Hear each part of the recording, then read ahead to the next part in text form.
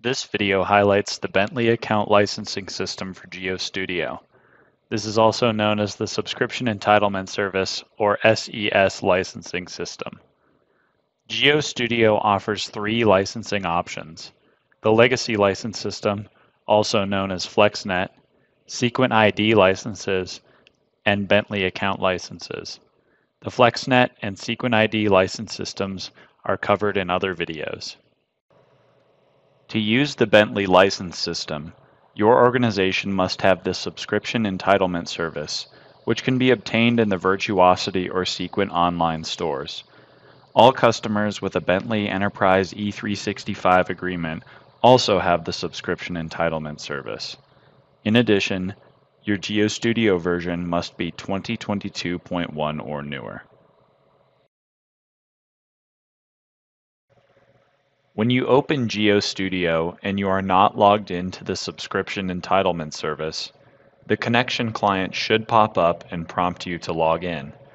Enter the email associated with your Bentley account or click on your email if it's displayed and log in.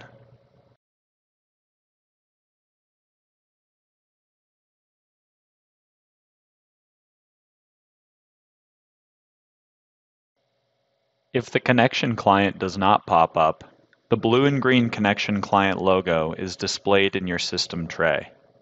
If you are signed out, there will be a red X next to the connection client logo. Click on the connection client logo and select Open.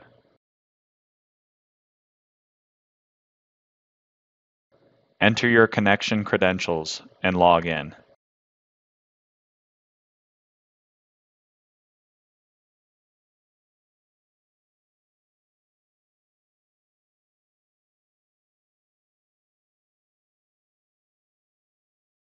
After logging in, you will see a green check next to the Connection Client logo indicating you are logged in.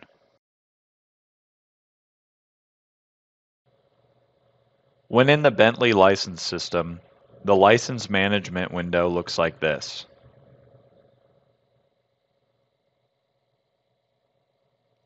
More information about each tier can be found by visiting the link provided in the dialog.